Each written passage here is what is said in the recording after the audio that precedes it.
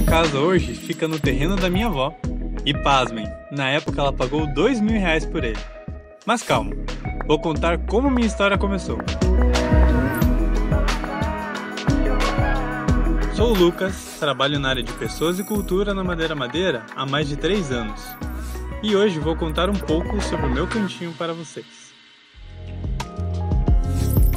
Com 23 anos, resolvi morar em uma das casas do terreno.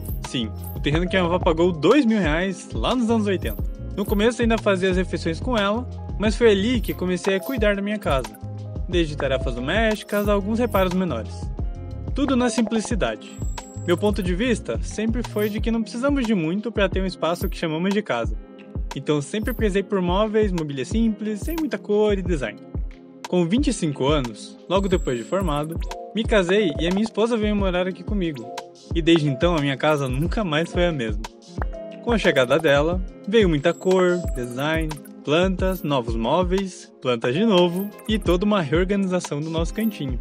Foi aí que eu percebi o quanto a decoração mudou a minha relação com a minha casa, que antes era um pouco morta, com tudo branco e simples, e agora muito mais decorada e principalmente viva.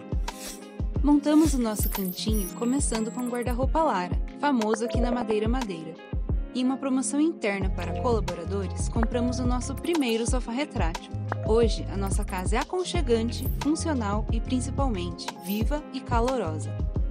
É com essa experiência em nossa mente que vivemos o nosso trabalho, sempre acreditando que a Madeira Madeira vai sim transformar o lar de milhares de clientes e fazer com que mais e mais pessoas possam se sentir em casa, assim como a gente se sente hoje.